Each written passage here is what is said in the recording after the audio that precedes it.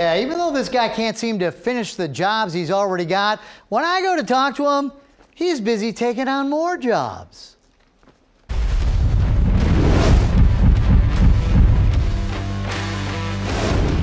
Hungry for something different? What am I going to be on? Mark Savage wants me to expose his business, unique food trucks and trailers, because Mark doesn't think he's done anything wrong. So why are people contacting me telling me you're ripping them off then? Well, that's not true. But some customers who've hired this guy are saying, WTF? Where's the food truck? So you've already given him 16 grand? Yeah, yeah, And he still got your truck? yeah. Customers are hungry, and these food truck owners are now starving for cash. So you don't have my money for two years. Why do you need more money to complete a job if you don't have my money for so long and you haven't shown me no no work? And I'm going to take you on a little undercover road trip to take back a truck before Mark Savage eats up all this guy's profits. Literally, there's two weeks worth of work, and if when you bring it back, I will put it on paper. But I've t- but I've heard that before. I'll put it on paper. I'll put it on paper. Then No, you'll have it I done just, in two I weeks. just want to be done. This is Unique Food Trucks and Trailers in Fraser. There are a lot of food vendors' livelihoods on the line here, or should I say, in the lot here. But for some reason, Mark Savage, the owner, is taking on more. Hey there, Mark. Rob Wolchek with Fox 2. Can I talk to you? After I'm done with this customer, sir. I'll show you more of me and Mark chewing the fat in a bit, but first, meet Laron. The only thing he gave me was a broken heart. Laron has a food trailer called Smokin' Mo's Barbecue, but Laron, aka Mo, says Mark made him miss all last season. He kept telling me stories, telling me he was going to work on it. He was going to work on it. Mo says he gave Savage $6,800 to equip the truck. And even though this is as far as Mark got on the trailer, Mark wanted more. I didn't give him no more money, so he got upset and he pushed my trailer outside. And you just came and took it? Yeah, I came and took it, yes sir. And the little bit of work Mo says unique food trucks and trailers did was dangerous. You were supposed to get um, fire resistant paneling. Yes sir. And what did he put in? He put in fake wood from Home Depot. Mo's not the only one forced to come hijack his own food truck. We'll call him Tom.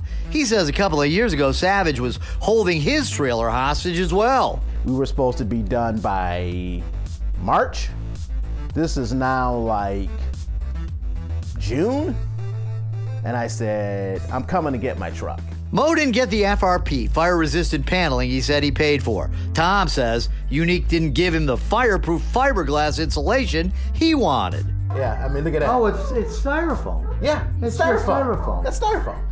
Then there's Brandon. You've got your truck sitting at this guy's place? Yeah, so I dropped it off November of 2021. And Brandon's got a new oven, cooler, and a bunch of equipment he bought on his own there as well. Mark Savage is supposed to install it. I think he just took on way too much. Hmm. So, I, but I, I also think he's a crook. Brandon's gonna do what the others did go grab his grub truck. My undercover cameraman is there when Brandon tells Mark how he needs his truck and stuff now.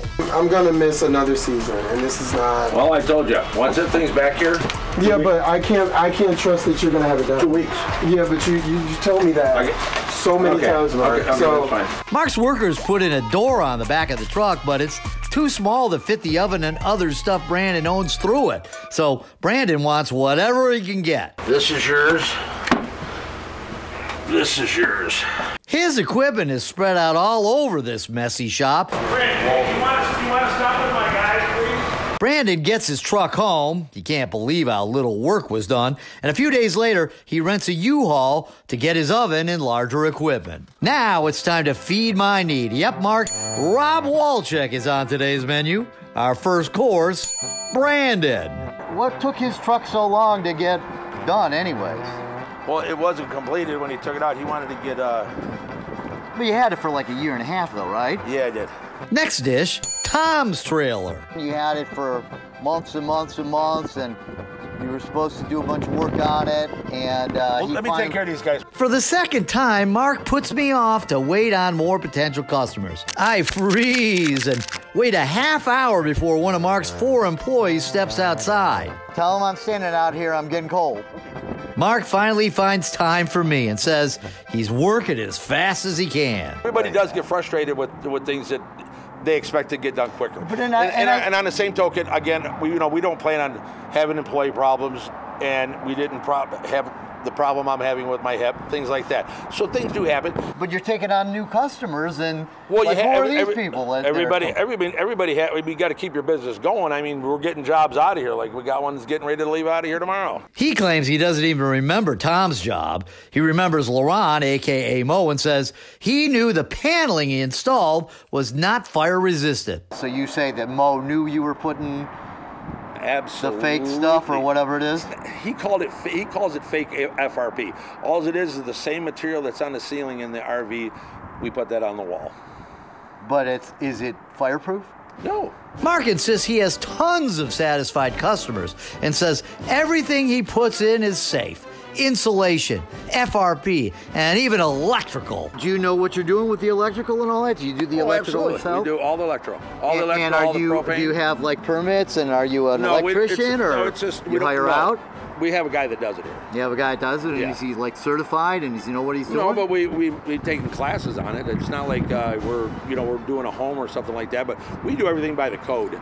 Hey, Mark, I got my own code, and it says you're in the Hall of Shame.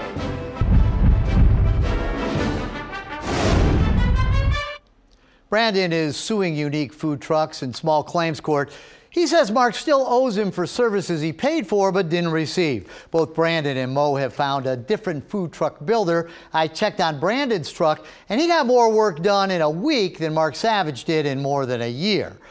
Mark left me a message saying he would provide me a list of satisfied customers. I called him back and left him a message, but he never provided me with any satisfied customers.